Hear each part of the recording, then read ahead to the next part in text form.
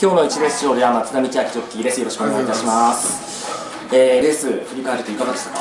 あのー、今日はこの馬で、あのー、だんだん馬体もしっかりしてきて、えー、十分なレースしてきたと思います。道中はすごくじっくり食べてるって感じでしたそうですね、まああのー、馬の状態も良くなってきて、あのー、ちょっと気も上がるものなんですけど、まあ今日思い切って上がって、えー、後半に足を残さず。今日もたくさんのお客さん来ていますけれども、えー、お祭りということで、えー、松田ジョッキーからメッセージありますか？あそうです。あそうですね。今日はあの十勝原なので思い切ってお祭りをいいお祭りにしたいと思います。はい。ありがとうございます、はい、ありがとうございます